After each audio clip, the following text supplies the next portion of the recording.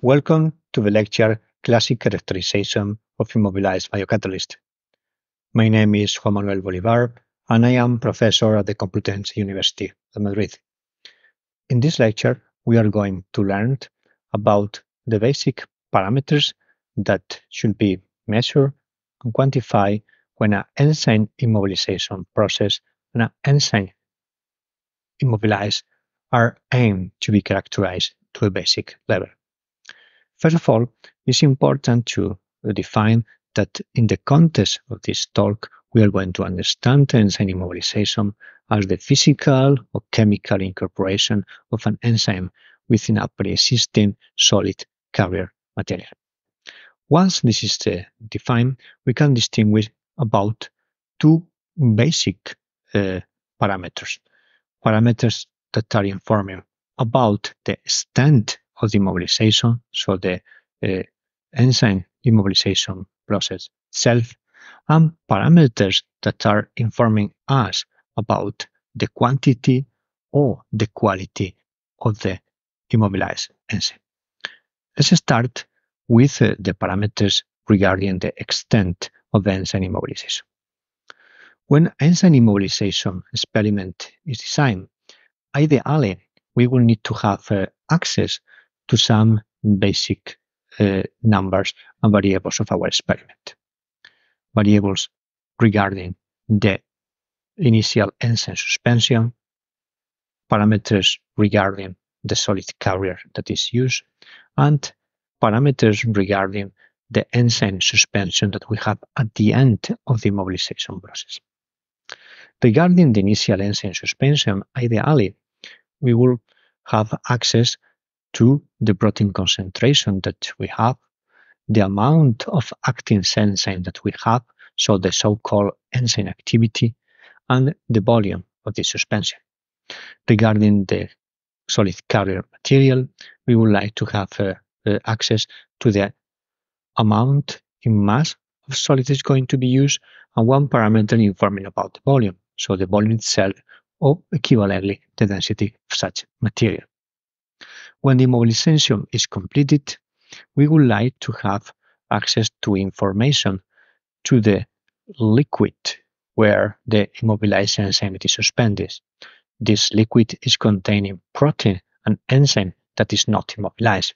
So ideally, we will have access to this protein concentration into the supernatant, to the amount of active enzyme that we have into the supernatant. So it's giving us the information about the enzyme that is not immobilized, and of course, the total volume of this enzyme solid carrier suspension. Once we have uh, access to these parameters informing about the initial enzyme suspension, informing about the amount of solid carrier that we are using, and we have access to the concentration of protein and active enzyme into the supernatant after the immobilization it is completed, we can calculate two basic parameters informing us about the extent, the quantification of the success of the immobilization, that are the protein immobilization yield and the activity immobilization yield. The protein immobilization yield is the ratio between the amount of protein that is immobilized divided by the amount of protein that was initially present in the immobilization.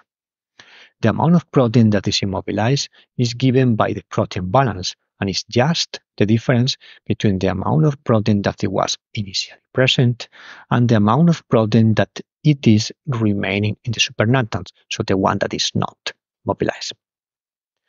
The activity balance is calculated in an equivalent manner and it is the ratio between the amount of activity that is immobilized divided by the amount of activity that it was initially present in our enzyme suspension.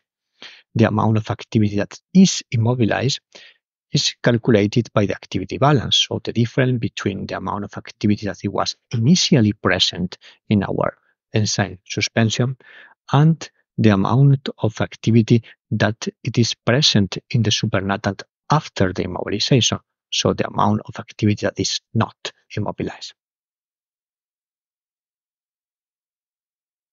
Once we can calculate this amount of protein that is immobilized, this amount of activity that is immobilized, we can refer not just to the initially present, but we can refer to the amount of solid material that we have in our immobilization experiment.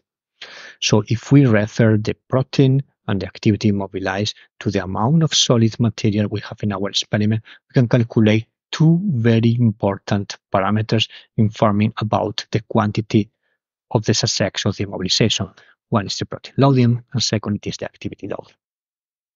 The protein loading is the ratio between the amount of protein that is immobilized by mm-hmm. the amount of carrier that it was used. So it's giving us a very important information about how much protein is immobilized per unit of mass of the solid we are using. When the activity that is immobilized, it is divided by the amount of solid we are using, we can calculate the activity loading. And it's giving us a very important parameter about the maximum specific activity that we can expect when we use certain amount of mass of the final immobilized enzyme into a solid. All of these parameters that we just uh, uh, discussed were based on protein and activity uh, balance and are based on measurement at the liquid phase before, during, or after the immobilization. One step deeper to characterize the immobilized enzyme will be to have direct access to information of the enzyme once it's immobilized, and we can divide about three basic parameters. One is the activity, second will be the kinetics, and third will be the stability of the immobilized enzyme. Let's discuss them. First, the activity. The activity of an immobilized enzyme it is uh, normally measured by incubating certain known amount of a solid containing the immobilized enzyme, where the protein that is immobilized is also known, with a, a liquid suspension containing a known concentration of the substrate. The reaction is normally monitored either following the decrease of the substrate concentration over time or alternatively following the formation of the product over time. To calculate the activity, we are interested in the initial reaction rate, and normally this uh, reaction rate it is a volumetric activity. So it is a measurement of uh, how much enzyme activity it is in the volume of our experiment. If we want to uh, refer this uh, Uh, information to the amount of enzyme that we have or to the amount of solid that we have, we can calculate two important parameters. One, it is the observable activity, and second, it is the specific activity of the mobilized enzyme. The observable activity is the result of referring the volumetric reaction rate to the amount of solid catalyst that we have and is giving us information about the real observed activity of a solid catalyst under the reaction conditions. If this observable activity it is referred not to the amount of solid carrier but to the amount of protein, for that we need to know the previously defined protein loading, what we will have access will be to the specific activity of the immobilized enzyme that of course could be compared with specific activity of the free enzyme. If we compare the activity of the immobilized uh, uh, enzyme to a maximum that we could expect, we can define two parameters that uh, give us some very important information about the quality of our immobilization. One, it is the recovery activity, and the second, it is the express activity. The recovery activity, it is the ratio between the real observed activity of the immobilized enzyme under well-defined reaction condition divided by the maximum we, we could expect. And the maximum we could expect, it is based on the activity offered So it is based on the quantification of the active enzyme that it was initially present at the beginning of the immobilization. Of course, this parameter of recovery activity is informing us about two things simultaneously. One, it is about the yield of immobilization, and second, it is about the quality of the immobilization. On the contrary, the express activity is informing only about the quality of the immobilization because it is calculated by dividing the observable activity by the amount of immobilized activity.